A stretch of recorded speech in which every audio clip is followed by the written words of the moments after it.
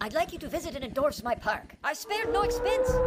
You can't control life. It always finds a way. We made it so they can't breed. They're breeding. Grandpa! Kids! Spared no expense. I gotta steal some embryos. Be right back. Oh no, a storm's heading this way.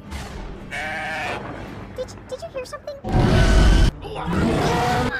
No wonder you're extinct. Come here, girl.